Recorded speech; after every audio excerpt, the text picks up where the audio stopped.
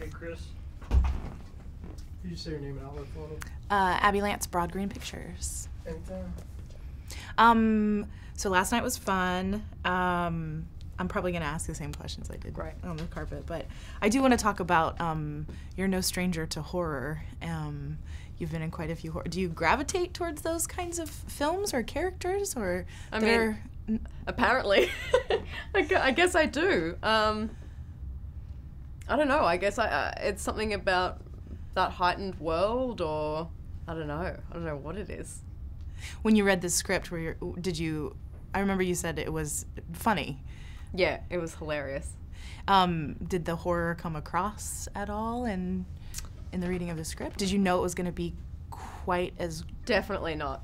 Definitely not. Um, I mean, it was it was present, but not to the extent that it is in the film. Or maybe I was just distracted by the hilarity of the dialogue. Uh, but that scene with Jena, I don't remember that being in the script. You know. Um, so yeah, Um, talk about working with, with Abbey and Jena, you know, the, the three that are sort of surrounding Jesse.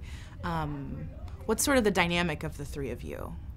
Um, it's funny because I feel like we kind of gravitated towards the dynamic that's present in the film to an extent. I mean, Abbey was just such a delight and relief to have around because I think we have a very similar sense of humor and because the vibe on set, you know, that feeling that's in the film can kind of permeate the set a bit and I think it was just nice to have her for like comic relief.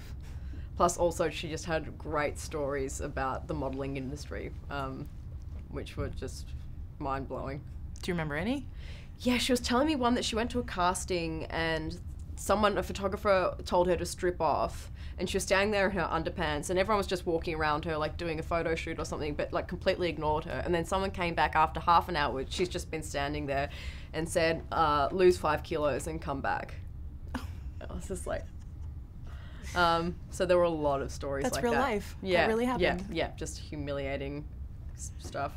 Ah, and anything else about just um, shooting with Nick and, and sort of a, a day on set? Like, what's his sort of approach to the day? Do you guys rock out to music or? Oh yeah, he had he'd play these songs, and Elle and I were trying to remember them. Like they seem like these really strange, obscure like European disco songs that he'd just play on repeat like every time before you take do a take. Um, but he has a method. I, like I've never worked with anyone like him before. He shoots basically consecutively, so the script would just change all the time, um, and you kind of you never knew what to expect when you'd come to set that day.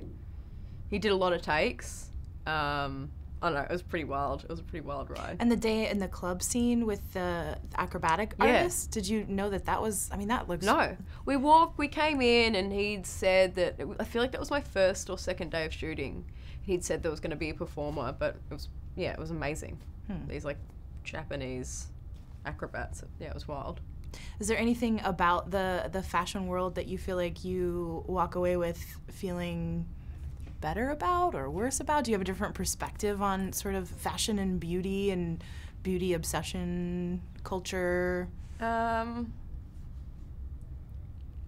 I mean, look, I feel like this this film paints a pretty dark picture, a pretty bleak picture of it. So, I guess the reality seems, you know, far more appealing to me by comparison.